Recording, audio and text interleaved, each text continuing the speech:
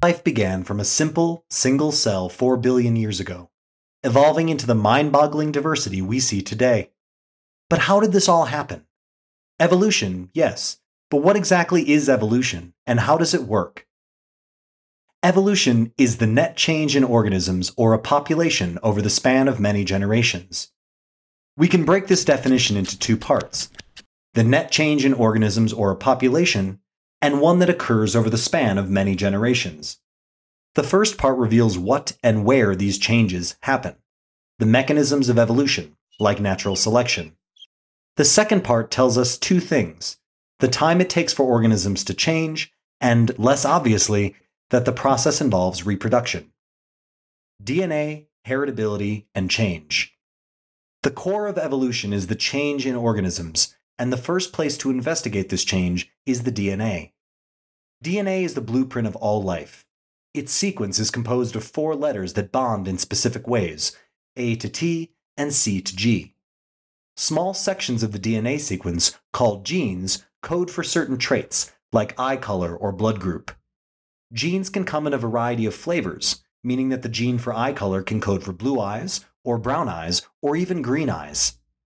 Each of us possess a unique combination of these genes, giving some of us brown eyes with blonde hair, or blue eyes with brown hair. Now, these different flavors of genes get all mixed and rematched in a process called recombination, which happens when organisms mate. In the nucleus of a cell, Long, twisted, ladder like strands of DNA are formed into compact chromosomes. Chromosomes come in pairs. Humans, for example, have 23 pairs of chromosomes, one from the mother and one from the father.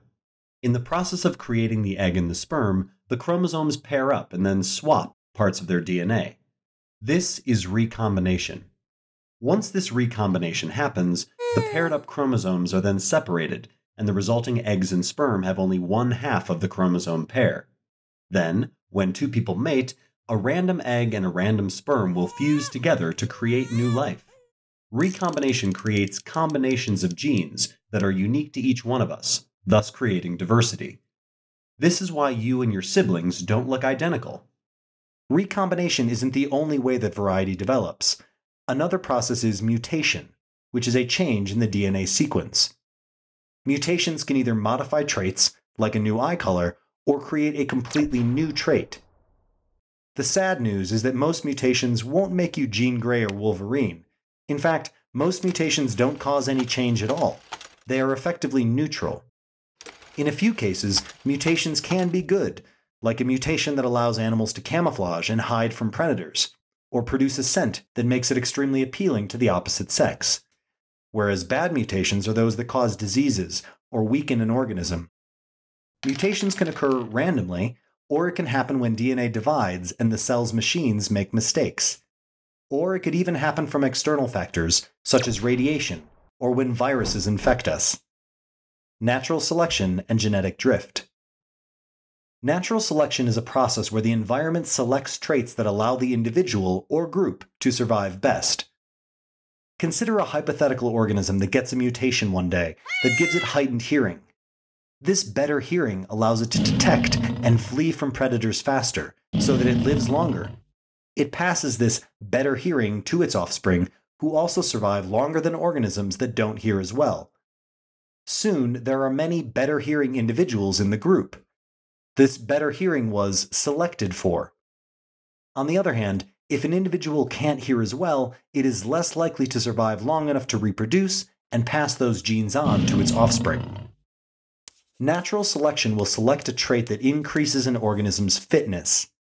Here, fitness doesn't mean strength, it means anything that will aid the animal in survival and reproduction. This is how the modern dog evolved from wolves. However, instead of the environment doing the selecting, it was humans humans selected those traits in wolves that made them better companions, including loyalty and a more docile temperament. The wolves that showed these traits were bred. Over time, humans selected and mixed these traits, resulting in the wide variety of dog breeds we see today. This is called artificial selection. Sometimes, though, luck also plays a role in how animals evolve. For example, a natural catastrophe can destroy the majority of a given population, the individuals that remain are there by mere chance, so the traits that remain in the gene pool aren't necessarily any better suited for their environment.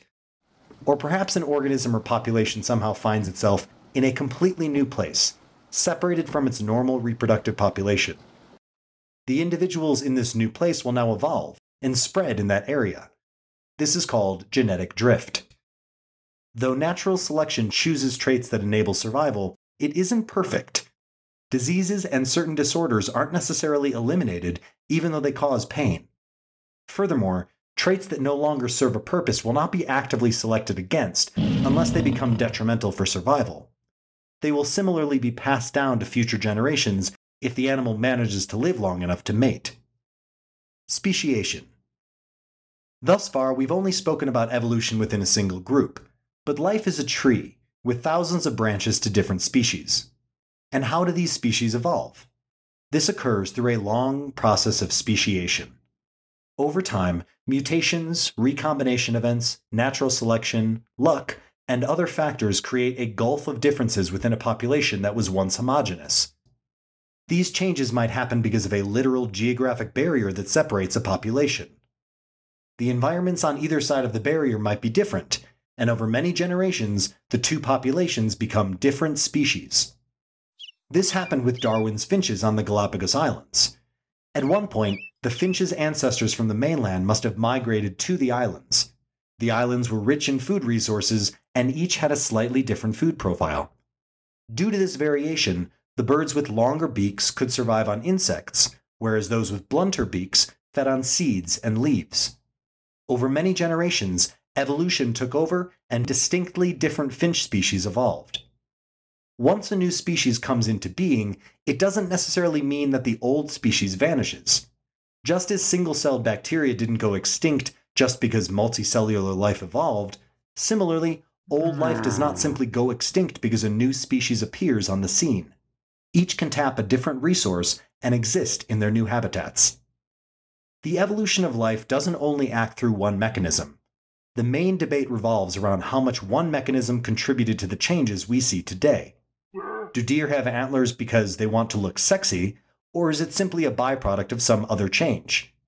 Did insects get smaller because of a lack of oxygen, or predators, or both? Scientists study evolution in the lab and through the fossil record. We know how whales evolved through the existence of intermediate fossils. In the lab, we breed bacteria, flies, and worms to see how they evolve under different conditions. This evidence gives us some hint at how life reached such an astonishing level of diversity. With all that in mind, take a moment to notice the diversity on our incredible planet and appreciate that it took 4 billion years of evolution to lead not only to you, but to the birds outside your window, the fly buzzing around your face, the dog curled up at your feet, and every other magnificent variety of life on Earth.